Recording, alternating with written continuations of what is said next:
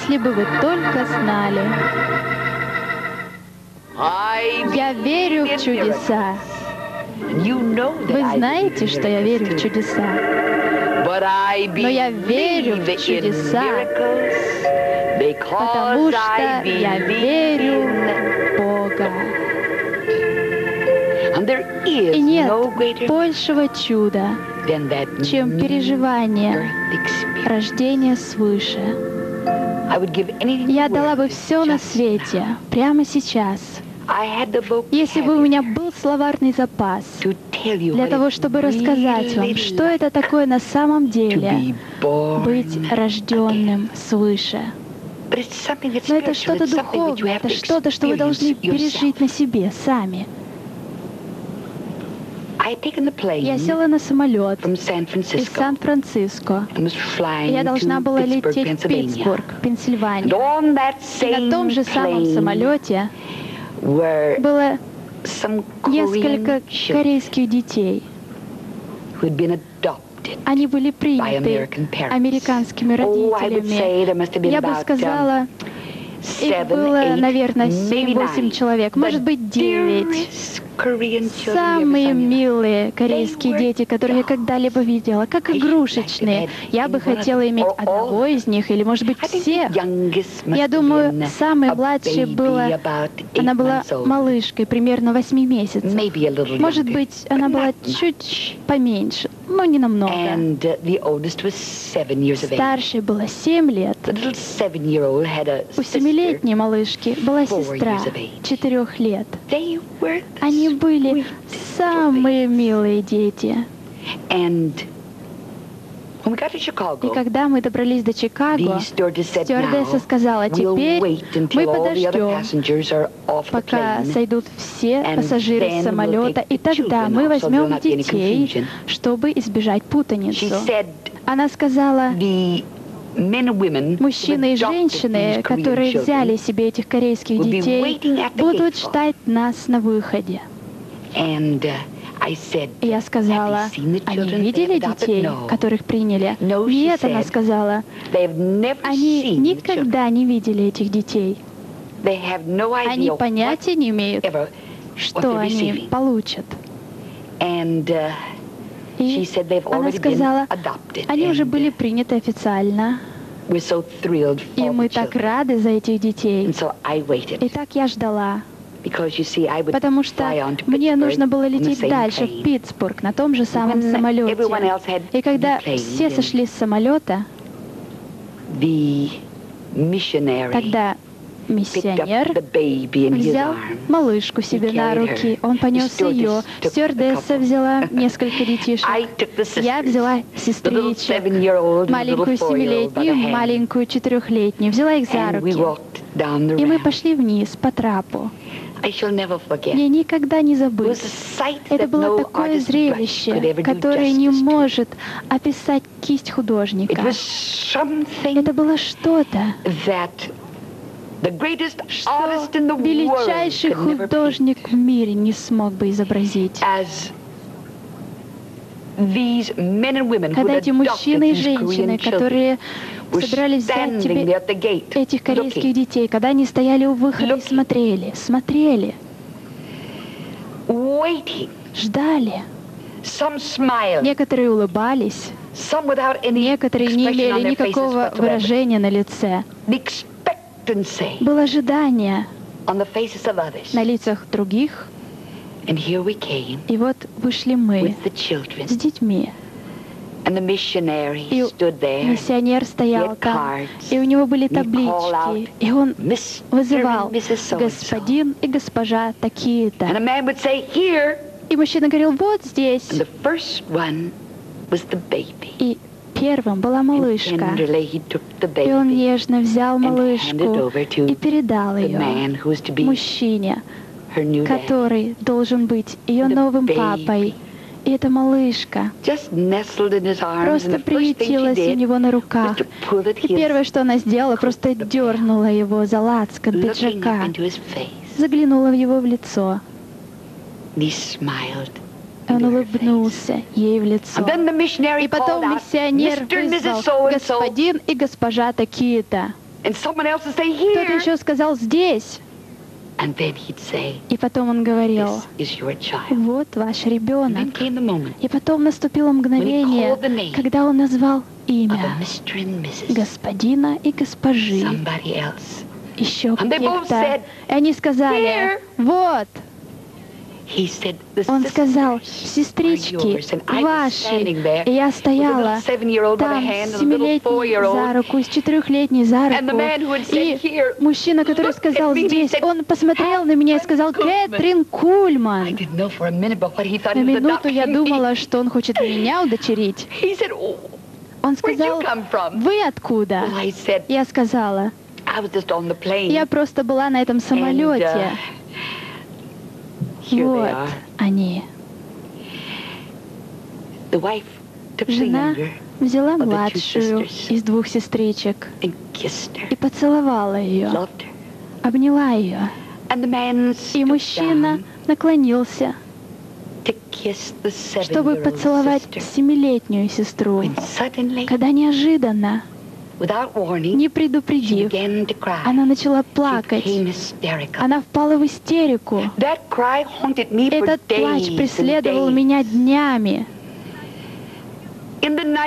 Ночью, в покое ночи, я могла слышать плач этого ребенка. Не было никакого выражения на лице, ничего, просто слезы катились вниз по ее щекам. И она каменела.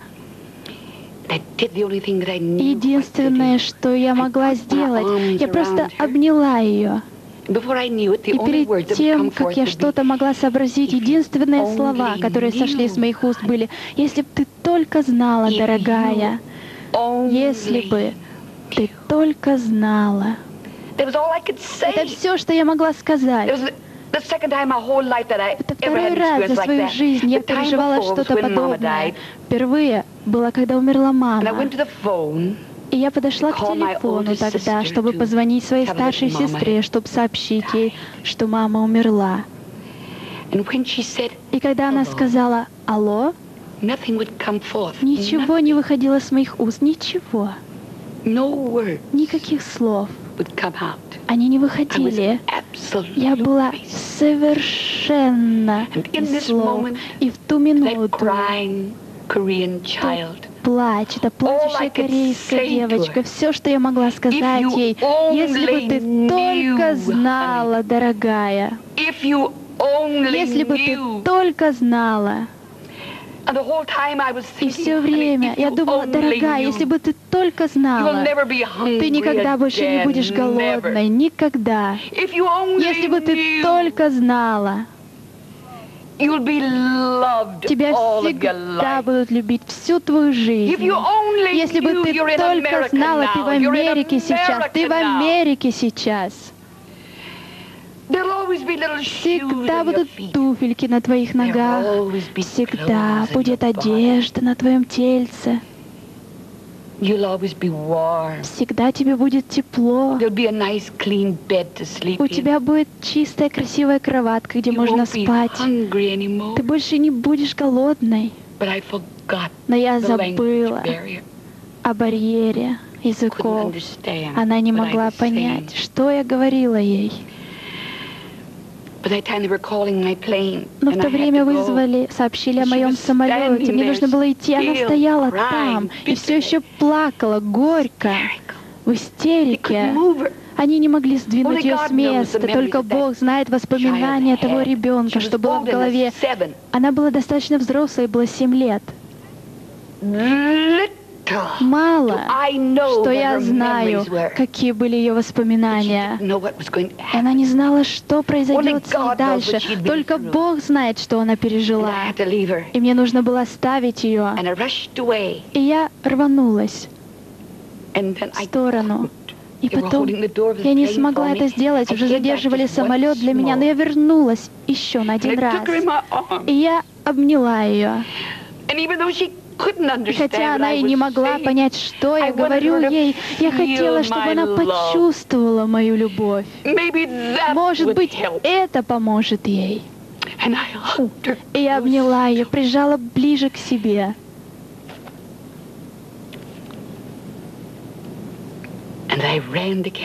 И я побежала, чтобы успеть на самолет перед тем, как закрыли двери. Мои последние слова были такими, если бы ты только знала. И в это мгновение я чувствую себя такой же беспомощной, когда говорю вам, кто никогда не переживал рождение свыше, тем, кто никогда не принимал Христа своим Спасителем, если вы только знали, Разве вы не понимаете, что жизнь на самом деле не содержит настоящего смысла? Для того, кто никогда не переживал рождение свыше. На самом деле, поэтому вы такие беспокойные.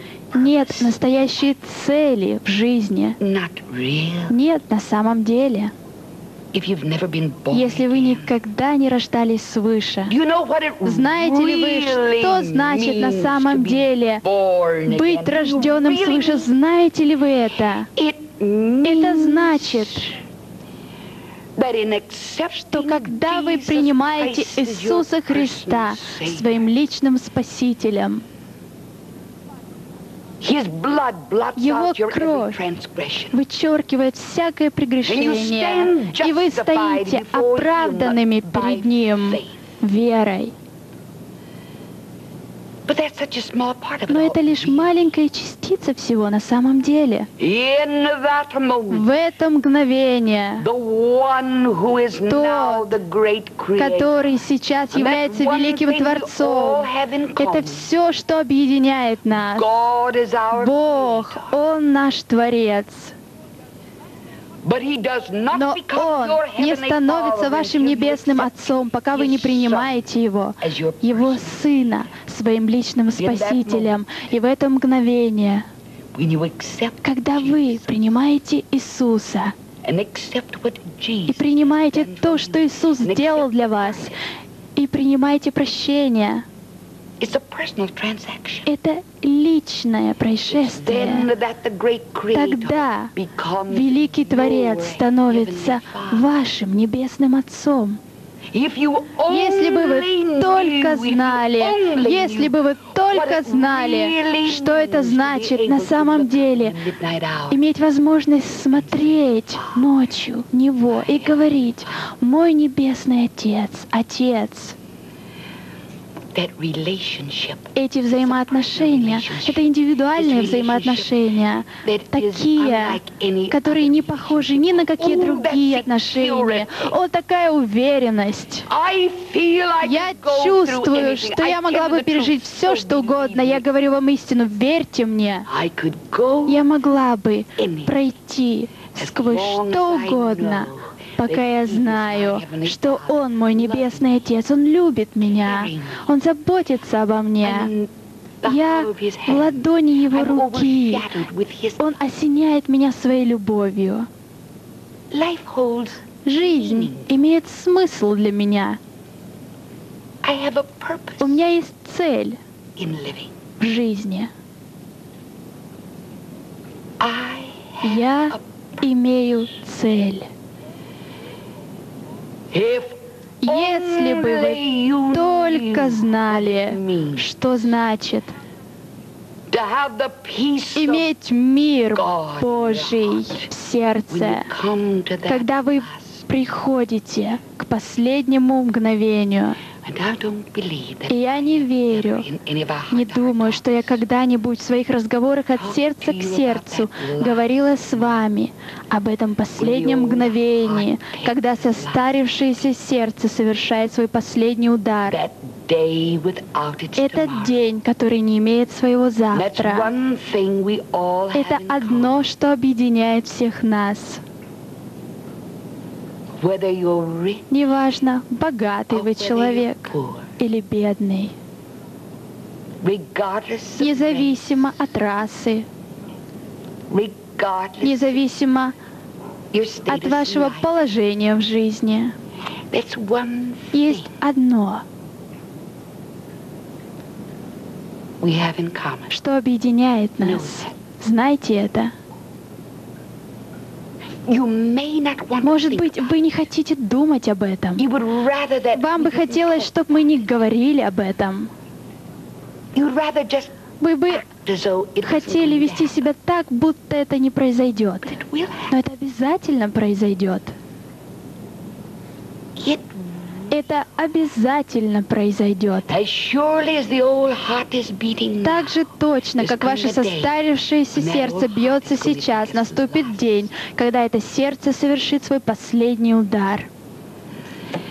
Если бы вы только знали, как замечательно иметь мир Божий в вашем сердце. На днях.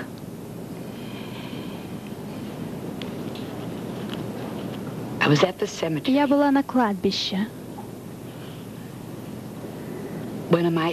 когда один из моих помощников ушел домой во славу.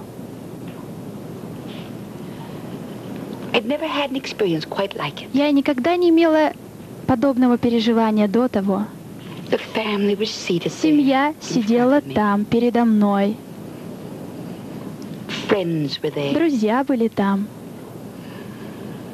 Те, которые должны были нести его тело так нежно на кладбище, они стояли там. Я взяла розы, я начала срывать лепестки. И они падали в открытую могилу. И я говорила, пепел к пеплу, прах к праху. Вы слышали это столько много раз. Но до мгновения там было славное присутствие Иисуса. И я знала, что это не смерть, что это не смерть, но это слава. Это не темнота, а свет. Не надо спотыкаться, идти вслепую, и даже в вере, но в видении. Это не горе. Я вытираю последние капли слез. Это восход солнца, утро моего вечного дня. Это даже не молитва, но разговор лицом к лицу. Слушать, взирать на чудеса Его благодати. Это конец мольбы, мольбы о силе, чтобы вынести мою боль. Даже мрачные воспоминания о боли не оживут. Как я мог вынести земную жизнь, пока не поднялся ввысь? И моей душе не было даровано ее каждое заветное желание, пока я не знал вознесения и встречи лицом к лицу. Тот, кто взыскал меня, спас меня, возлюбил меня и сохранил меня своей благодатью. Я стояла там и прочитала это славное место Писания. Не хочу же оставить вас, братья, в неведении об умерших, дабы вы не скорбели, как прочие, не имеющие надежды. Ибо если мы веруем, что Иисус умер и воскрес, то и умерших в Иисусе Бог приведет с Ним.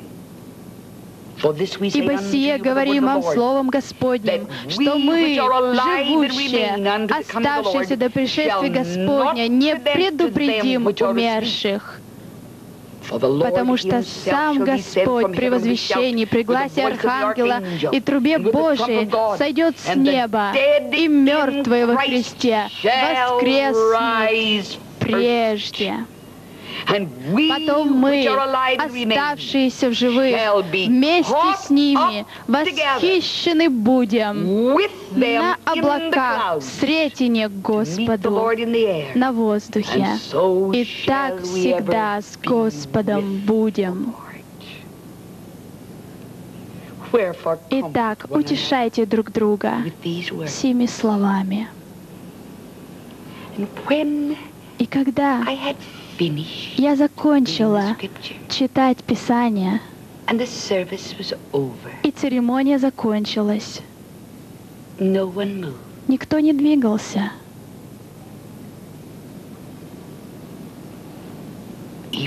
Если бы вы только знали, на что это похоже, когда имеешь эту славную надежду, когда знаешь, что смерть — это вообще не конец. Я стояла там несколько мгновений. Это был прекрасный день, птицы пели. Не было истерики, не было плача, но сидели там. Жена, сдержанная, но с верой, с уверенностью, с христианским переживанием. Там сидели три взрослых сына. Не было истерики, но была уверенность, была вера. Церемония на кладбище закончилась, однако никто не шелохнулся. И я сделала что-то самое естественное. Там было одно свободное место рядом с одной из невесток. И я подошла к тому месту и села. Мы сидели там. Я сказала, знаете, я думаю, мы ждем, когда зазвучит труба Господа. Я думаю, мы просто ждем того славного утра воскресения, того мгновения, когда жизнь воскресения пройдет через это тело, и мертвые во Христе воскреснут. Подобие тела нашего воскресшего Христа. И Библия говорит нам, что это реально, что это настолько же реально, как и сам Бог. Это настолько же реально, как жизнь, верьте мне. Смерть — это вообще не конец. Я даю вам Его Слово, величайший авторитет на небе и земле. Вы можете поставить на карту свою жизнь на Слове. Смерть — это не конец. Это лишь начало. Остальная часть книги написана по ту сторону могилы. Это не смерть. Это когда ваши последние слезы вытираются. Это не смерть. Это конец мольбы, это конец страданиям, это конец сердечной боли, это конец разочарования. Если бы вы только знали, если бы я только могла сделать вам то, что я сделала той маленькой корейской девочке. Если бы я могла обнять вас, неважно, 91 вам или 9 лет, Неважно, в рассвете вы своей юности или ваши руки. настолько изношены от изнуренного труда, от утомленных дней, и ваши волосы превратились в серебро, и вы настолько неуверенны насчет того дня, который не имеет своего завтра. Если бы вы только знали, как чудесно иметь эту уверенность во Христе Иисусе, иметь мир, знать, что Бог ваш Небесный Отец. Это лишь конец веры. Вера становится действительностью. Это конец надежде. Я могу посмотреть и сказать, «О, Вера, ты стояла рядом со мной столько много раз. Я не знаю, что бы я делала без тебя». Но в это мгновение вера становится действительностью. Надежда. Ты была такой замечательной. Ты помещала звезды, черные небеса. Ты помещала двери в голые стены. Но ты не будешь мне нужна больше, вера и надежда. Но любовь, любовь я возьму с собой. Потому что в это мгновение, впервые в жизни, я буду знать совершенную любовь. Если бы вы только знали, глаз того не видел, ухо того не слышало,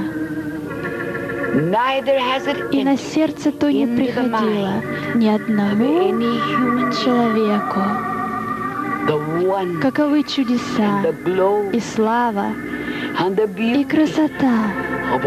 Всего, что Бог приготовил для своих,